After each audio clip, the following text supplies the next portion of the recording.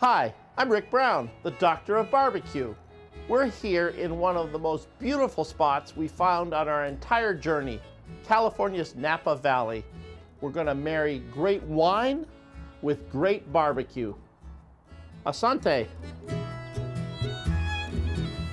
What a gorgeous part of the country this is.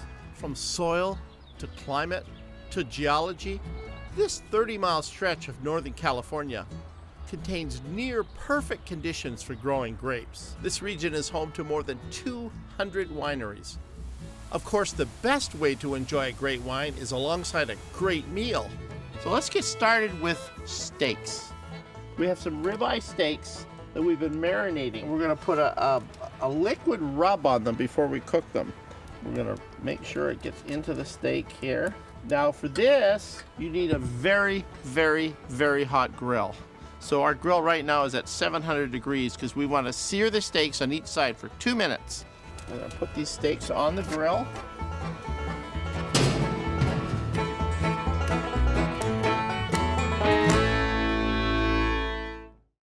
To learn more about Barbecue America or to find Rick's recipes, visit our website at barbecueamerica.com.